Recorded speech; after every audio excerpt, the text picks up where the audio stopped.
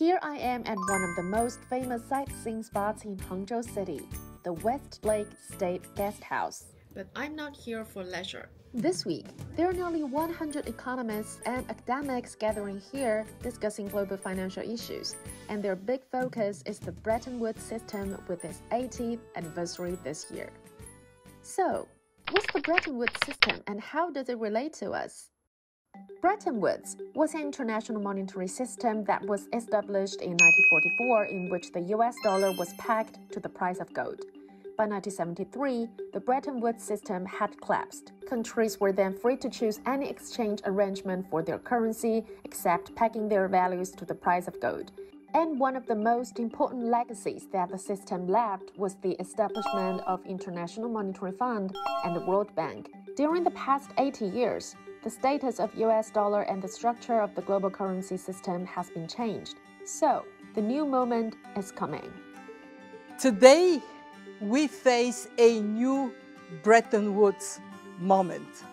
We must seize this new Bretton Woods moment. How?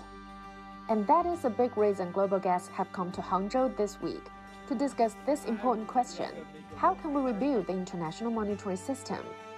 To find some answers, I attended some of the panels at the forum. And what has developed is the toolbox of the ECB has become much more robust with a view to different shocks by developing new tools. And obviously for the central bank to be independent and not to have addressed solvency problems, you need a backstop. All I just want to say, because I would like to make some reference to China, in early 90s, it was Europe who paid a very high price for sticking to impossible Trinity dilemma, and there was a threat that it will be a vicious circle of competitive devaluations, but fortunately China stood up to its role. China was the only country not to devalue the yuan. I talked to economists. Are you nice the to first meet one? you. Yeah, I'm the first one. Okay. Please. Hello.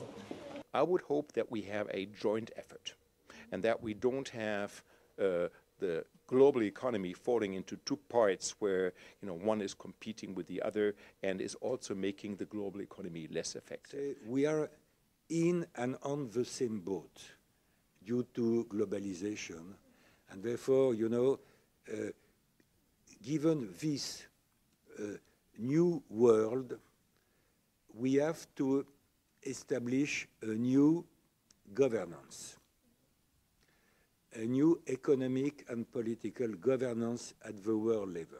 You're right. Uh, 80 years ago, when all this began, only a small number of countries got together. And out of that, an even smaller number of countries took up global leadership in the world. Mm-hmm. These countries have found global leadership to be costly. At the same time, they are fearful of giving up that leadership.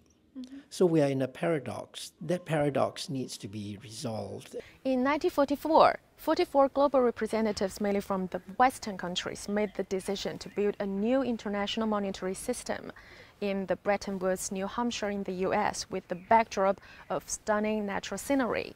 And here, now, at the one of the most famous and beautiful attractions in China, the Westlake in Hangzhou, we can see more countries, including developing countries, Asia countries, joining the discussion on the global issues related to all with the new economic order, and we can expect more for the new era and a new world.